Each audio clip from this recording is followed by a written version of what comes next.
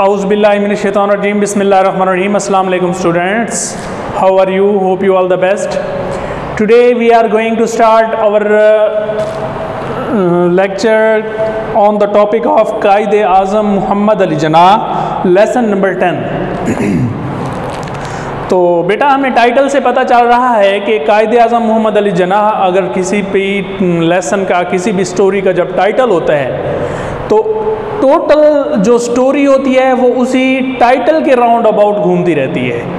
अच्छा तो कायद अज़म मोहम्मद अली जना के बारे में मुकम्मल बायोडाटा उनकी डिटेल में ब्रीफ हिस्ट्री में फिर उनकी जो जो स्ट्रगल पाकिस्तान हासिल करने के लिए हुई है, फिर जो जो आपने कोशिशें की हैं मतलब फ़ॉरेन कंट्रीज़ गए हैं, आपने ला की डिग्री हासिल की है बार एट ला किया है, इसी तरीके से जिस जिस कॉलेज़ में और मदरसा में आपने तालीम हासिल की है तो वो उसका ज़िक्र करेंगे। उसके बाद फिर थोड़ा सा सियासी लेवल को हम डिस्कस करेंगे और लास्ट में उनकी डेथ तक जब वो अपने खाल के हकीकी को जा मिलें उस वक्त तक हम इसके चैप्टर को एक कंप्लीट स्टोरी में मतलब कूजे में बंद करेंगे। ओके तो after completing this lesson the students will be able to will be able to मतलब क्या करने के लायक बन जाएँगे? जब ये चैप्टर स्टूडेंट्स पढ़ लेंगे, इसकी रीडिंग कर लेंगे, इसको समझ लेंगे तो फिर इस वो स्टूडेंट किस चीज़ के बारे में कितने काबिल बन जाएँगे? तो वो ज़रा देखते हैं।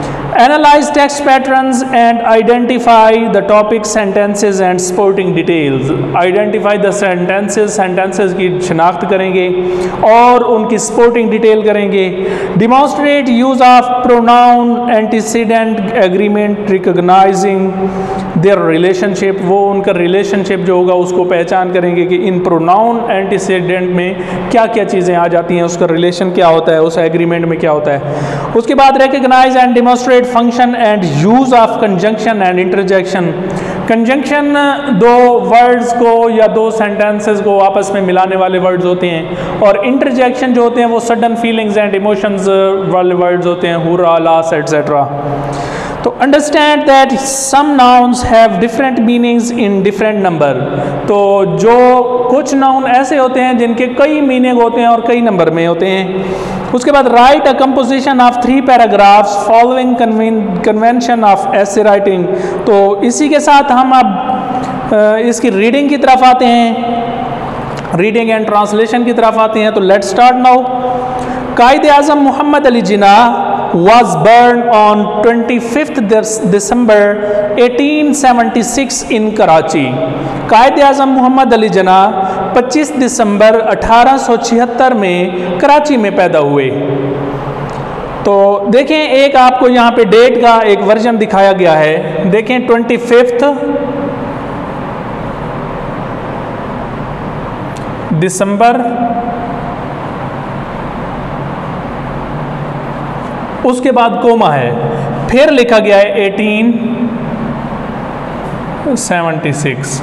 तो ये बेटा डेट का जो हमारे पास फोंट है, वो इस तरीके से लिखते हैं हम। After being taught at home घर में पढ़ने के बाद, सीखने के बाद ही वॉज़ सेंट आपको भेजा गया टू सिंध मदरसा तुल इस्लाम। आपको सिंध मदरसा तुल इस्लाम में भेजा गया। एट द एज ऑफ़ 16 16 साल की उम्र में ही passed his matriculation examination from mission high school 16 साल की उम्र में आपने अपना मैट्रिक का इम्तिहान मिशन हाई स्कूल में पास किया। लेटर इन 1893 उन्नीस में मतलब बाद में अठारह में ही joined Lincoln's inn to obtain the highest degree in law तो आपने लिंकलिन्स इन को एक आला डिग्री, ला की आला डिग्री हासिल करने के लिए उसको ज्वाइन किया। Once Jinnah was firmly established. Once एक दफ़ा Jinnah was firmly strongly, firmly mean strongly, मजबूती से एस्टेब्लिश्ड, कायम करना चाहते थे। इन अ लीगल प्रोफेशन एक कानूनी तरीक़ेकार से पेशा वर से। ही फॉर्मली एंटर्ड पॉलिटिक्स इन 1905 तो एक दफ़ा जब कायद अजम जिनाह, मोहम्मद अली जिनाह मजबूती से अपने कानूनी शोबे को बाकायदा तौर पर सियासत में एंटर होने के लिए कायम करना चाहते थे तो आपने 1905 में पॉलिटिक्स में हिस्सा लिया मतलब सियासत में एंटर हुए। Jinnah believed in working for Hindu Muslim unity. Jinnah को यकीन था कि वो हिंदू मुस्लिम यूनिटी के लिए काम करेंगे। या हिंदू जिनाह ने हिंदू मुस्लिम यूनिटी इतिहाद के लिए काम के ऊपर यकीन रखा। He always looked after he always आपने हमेशा लुकड आफ्टर देखभाल की the interest of the Muslim दिलचस्पी से मुसलमानों की आपने हर वक्त हमेशा देखभाल की। सून जल्द ही ही रियलाइज़ आपको एहसास हो गया that the Muslims of the subcontinent के बर सग़ीर के जो मुसलमान हैं are deprived of their rights कि वो अपने हक से महरूम हैं। तो इसका बामहावरा तर्जमा क्या है? जल्द ही आप को ये एहसास हो गया कि जो बर सग़ीर के मुसलमान हैं, वो अपने हक से महरूम हैं डिप्रीव्ड मतलब without necessities The idea of Pakistan was given by Dr. Alama Muhammad Iqbal in 1930. तो आइडिया ऑफ़ पाकिस्तान पाकिस्तान का तस्वर डॉक्टर अलामा इकबाल ने 1930 में पेश किया कायद आज़म वॉज़ कन्विंस्ड कायद आज़म कायल हो गए थे दैट के a separate nation separate Muslim homeland homeland was the only way to safeguard Muslim interest के कायद अजम मोहम्मद अली जना इसके ऊपर के एक वो मुसलमानों के मफादात को तहफ़ दिलाने के लिए मुसलमानों की अलहदा मादर वतन या अलहदा सल्तनत वतन पाने के लिए क्या हो गए थे? कायल हो गए थे।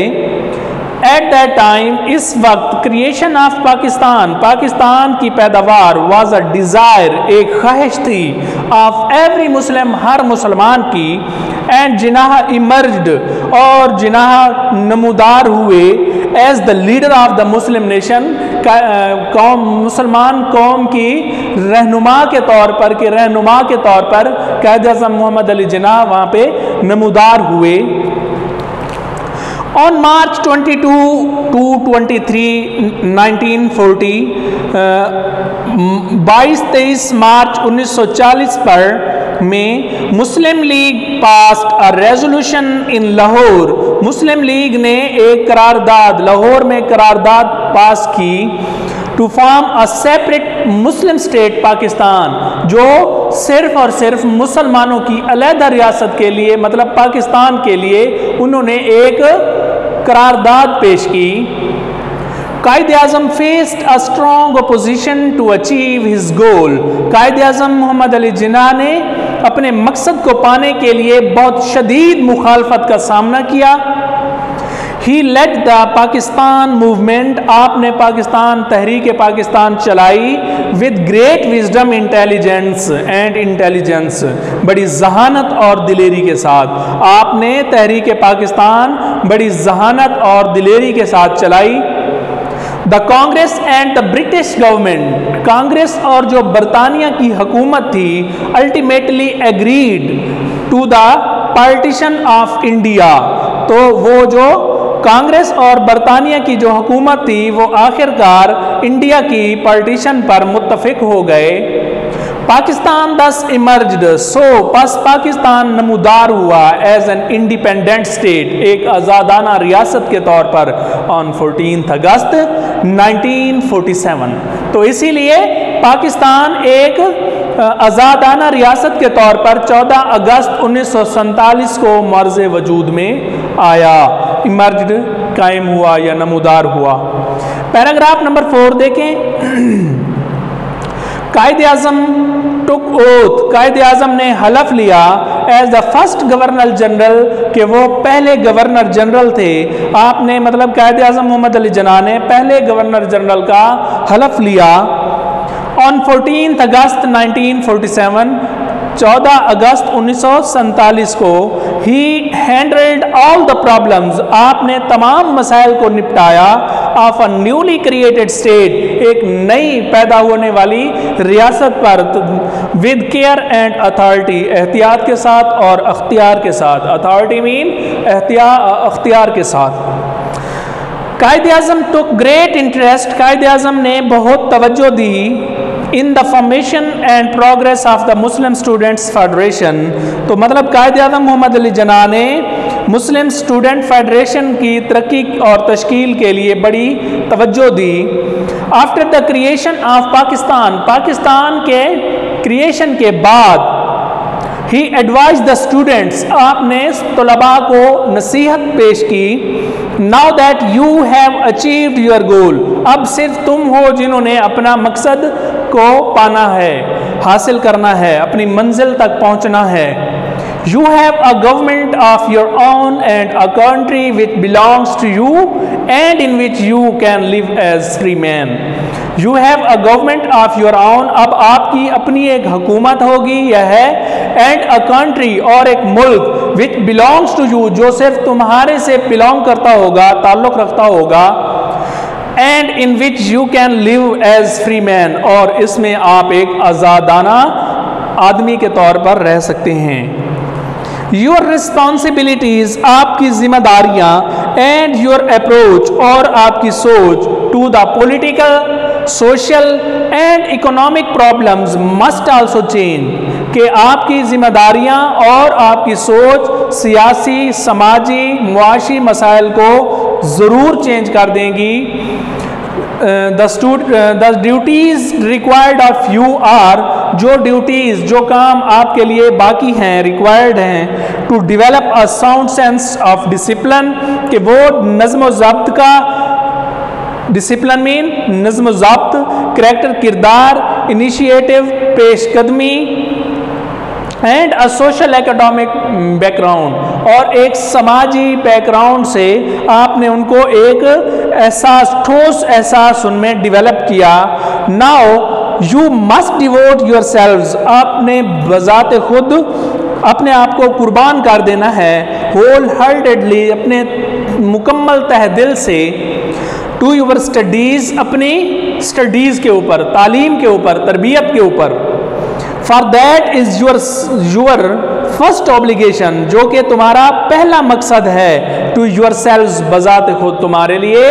ये पहला मकसद है to your parents and to state जो तुम्हारे वालदेन के लिए और तुम्हारी रियासत के लिए। तो आपने क्या करना है? तालीम हासिल करनी है और ये आपका पहला मकसद है, जो कि आपके वालदेन और आपकी रियासत के लिए पहला मकसद है। तो पैराग्राफ नंबर सिक्स पे आ जाए बेटा। द क्वाइड्स मोटो कायद आज़म का जो दस्तूर था, work work and work is a call to wake us up. Quaid Azam का जो दस्तूर अमल था, वह काम काम और बस काम ये हमें जगाने का एक बुलावा है। वी मस्ट वर्क हार्ड हमें ज़रूर सख्त मेहनत करनी चाहिए। To achieve our national goal हमें अपना कौमी मकसद हासिल करने के लिए सख्त मेहनत करनी चाहिए। ईच वन ऑफ़ अस हम में से हर कोई should try and act upon the golden principles the Quaid gave to the nation हम में से हर कोई कायद आज़म के जो कौम के लिए जो गोल्डन मतलब के सुनहरी असूल दिए थे, उस पर अमल करने की कोशिश करेगा। हिज हेल्थ डिटीरियोरेटेड डिटीरियोरेटेड का मतलब होता है ख़राब हो जाना। आपकी सेहत ख़राब हो गई बिकॉज़ ऑफ़ वर्किंग हार्ड ज़्यादा काम करने की वजह से for the progress of the nation कौम की तरक्की के लिए, काम करने के लिए आपकी सेहत बहुत ख़राब हो गई। He did not care about his health आपने अपनी सेहत की परवाह ना करती, नीक ना की एंड केप्ट वर्किंग हार्ड और अपना सख्त काम जारी रखा।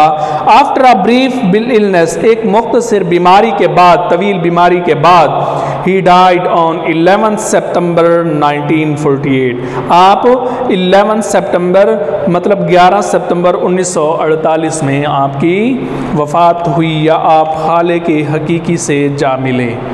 ओके बेटा तो ये आपका चैप्टर की कंप्लीट रीडिंग है। अगर आपको किसी चीज़ की समझ नहीं आती तो आप हमसे रजू कीजिएगा और बाकी ईमानदारी से काम कीजिएगा। ये लर्न आपने डिक्टेशन लर्न करनी है। तो इसी के साथ मैं इजाज़त चाहूँगा। Hope you all the best फ़ी अमान अल्लाह हाफिज़।